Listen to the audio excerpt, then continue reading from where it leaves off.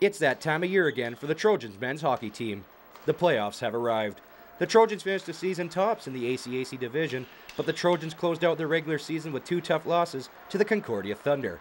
Trojans goaltender Reese St. Goddard says the team came out flat. Uh, tough weekend. I mean, uh, we kind of just we got outplayed, and uh, they deserve the four points. The Trojans do have a bye week to work out all the kinks in their system, and head coach Ken Babey has nothing but high expectations. Everybody has to remember too that there was 15 first-year players on this team, in the sense that they haven't been SAIT before, and you know we have a different expectation.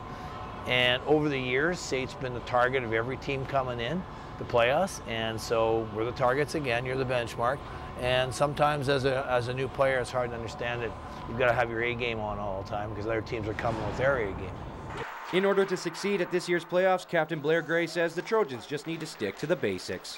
Not a whole lot of changes, just uh, sticking to the game plan and making sure we don't get away from the game plan. Uh, we like to get the pucks in deep and start uh, crashing and banging, which is a really big part of our game. And I thought we got away from that in the first period at home. So I think we need to do that in uh, every period and we'll be fine. With 15 rookies taking their first shot at the playoffs, this could be the toughest championship run yet for the Trojans.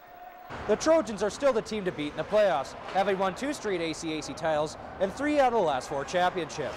Can they go for a three-peat? We'll find out soon enough. For Newsfile Sports, I'm Gino De Paoli.